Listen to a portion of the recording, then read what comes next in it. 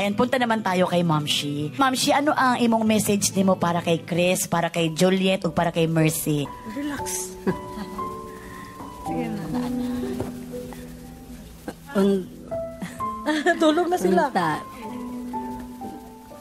Maayo ilang an nga buhian tapos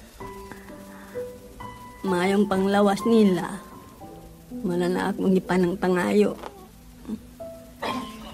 So, inga na gyud atong mga Ma'am Shi na to. Oh, oh, bakit anak ka ba ng Aegis? Oh, naka-black ako. Oh. Oh, kasi naiyak ka na din. Ages din ako. Uy, naiyak na gud si Kuan o si Ate Mercy. Pag mama talaga natin ang nagsabi no, talagang napapa napapa nahihinto yung mundo natin. Mm-mm. Si mama ba gusto na ko pangutanon si mama kung unsa imong ginaampo adlaw-adlaw sa imong mga anak para sa ilaha.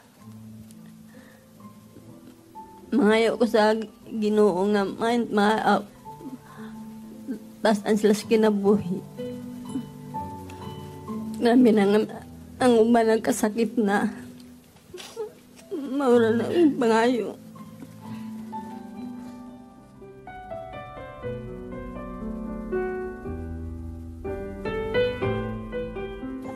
Ayan. Thank you, Mami, sa message ni mo, Mami, ha. I love you, Mami.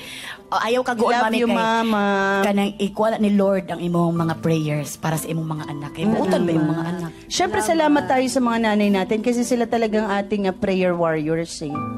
'Di ba? Sila talaga yung sa lakas nilang magdasal nadadamay talaga tayo, 'di ba? Eto kay Marco naman, ano yung ah, matagal mo nang sabihin kay Pop Sheree na message mo? Ah, kasi parang kami ni Papa, parang sobrang close kami. Matuturing ko siyang kaibigan, best friend.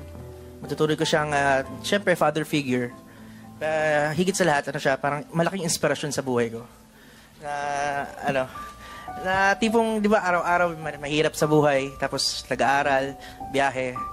Yung tipong pagdating sa bahay, parang okay na lahat kasi kasama ko na siya. Uy, uy, kalami po ana ang message Kuya Ray. Uy, ang sarap naman yan. Sa lahat ng pagod mo, na-appreciate ka ng anak mo. Ayoko na, uy!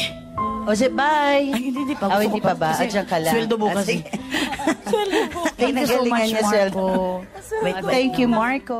Thank you for watching Magandang Buhay. For more videos, subscribe to ABS-CBN Entertainment YouTube channel and click the I button.